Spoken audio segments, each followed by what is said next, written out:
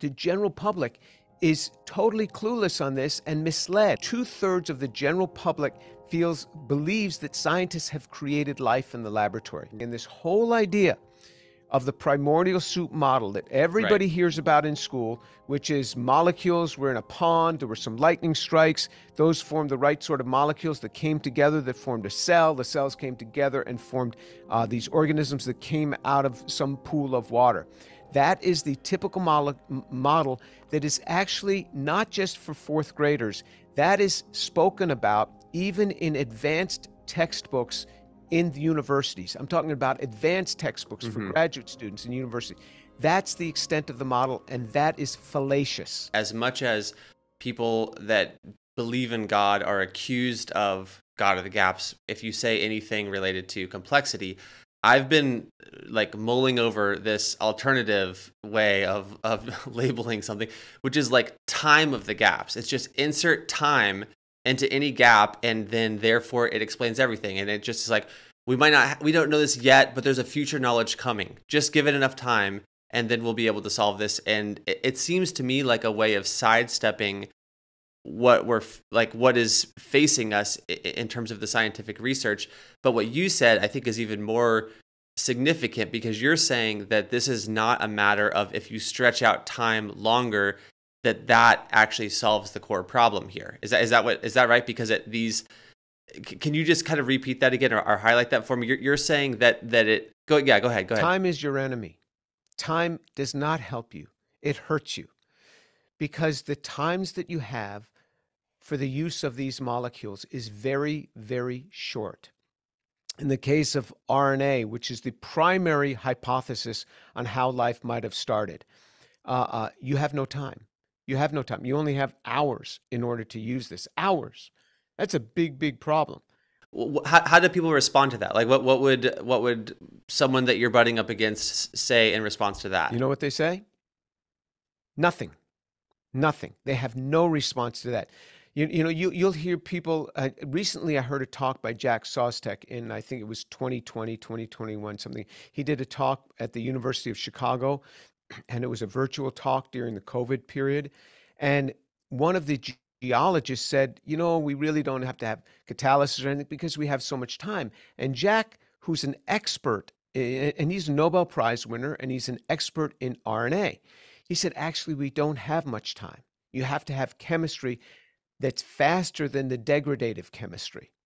And so you really don't have much time. But he didn't he didn't park there and show and, and talk about the extent of how little time you have. You have on the order of hours. If you hmm. make a compound, if I make a compound in my laboratory and I have only a few hours to get it on to the next step, mm-hmm. I am working very, very hard to try mm-hmm. to cool that down, to try to stabilize it, to try to get it on in the next step. Mm-hmm. Hours is a very short amount of time. Now you think on a mindless earlier. So this whole argument of time is absolutely right. It is time of the gaps. They will insert time in their gaps and say time took care of this. And my argument is no, time doesn't take care of this. Time actually hurts you. So you want to claim this thing of time, it hurts you. So, so yeah, yeah, that that's what we're talking about with that. And then the sugars are the hardest class of mm-hmm. compounds. Mm-hmm. You think, mm-hmm. oh, sugars are easy. Sugars are the hardest class because sugars have all these different tentacles, and and it can hook up to any one of these points. And if it hooks up to the wrong point, that's the wrong wrong attachment point. And every disorder, every biological disorder, can be traced back to also a disorder within the carbohydrates. So it's really fundamental to get that coupling right. Nobody knows how to do that. Nobody knows. There's people that throw out this idea well, it's not RNA first, it's metabolism first. All right, you have metabolism. So you get a bunch of little molecules. Now mm-hmm. what happens? You just say, now what happens? So, so Brandon, what, what they do is they don't confront to address me on this. They just don't answer.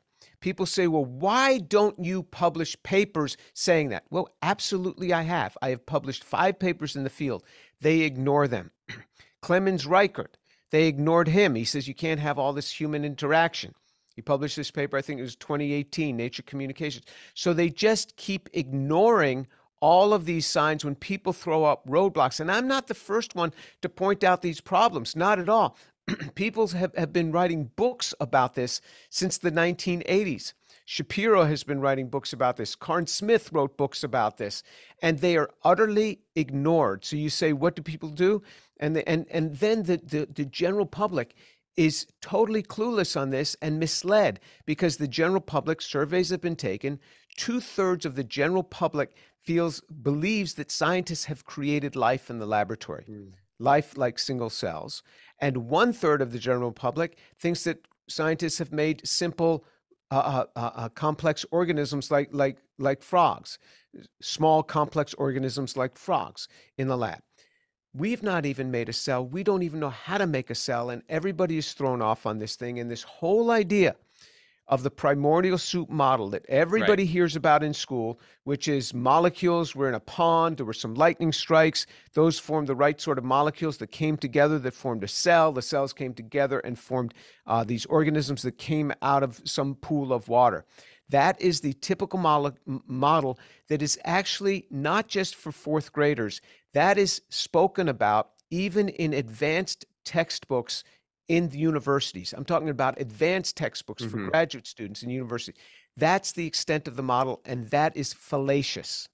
Okay, I'm glad that you went to that to that broad narrative that that permeates academia because that's where I wanted to go next where you corrected me in that Darwin didn't address origin of life but when you think about sort of eh, maybe it's even a, misuse of the term, but sort of a Darwinian evolutionary model, at least in my mind growing up in school, I do associate with that the idea of the primordial soup and then out of that, you know, sort of the Big Bang primordial soup cells and then natural selection taking the ball to the, to the, to the modern era, you know?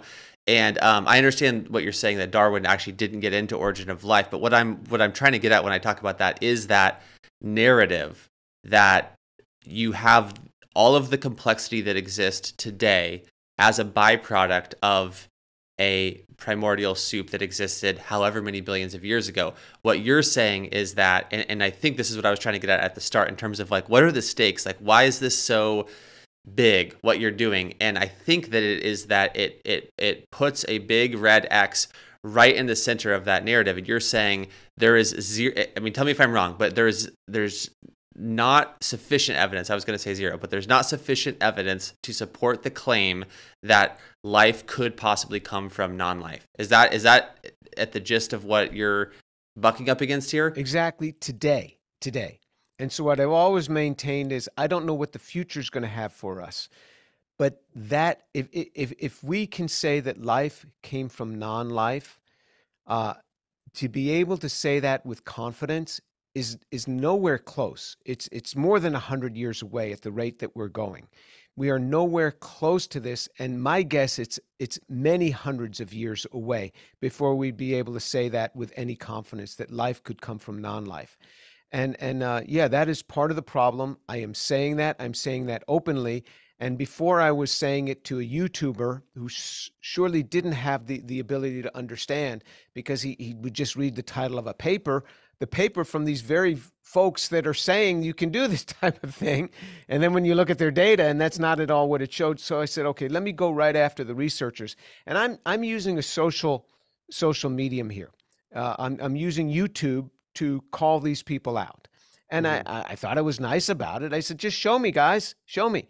And to challenge them and give them 60 days to think about this thing. Which we're still in the middle of that window, right? Where how many where, October 23rd will be the 60th day. So there's there they still have yeah, they have this time to work on it. Oh, by the way, no, none of them have sent me any solutions yet to anything.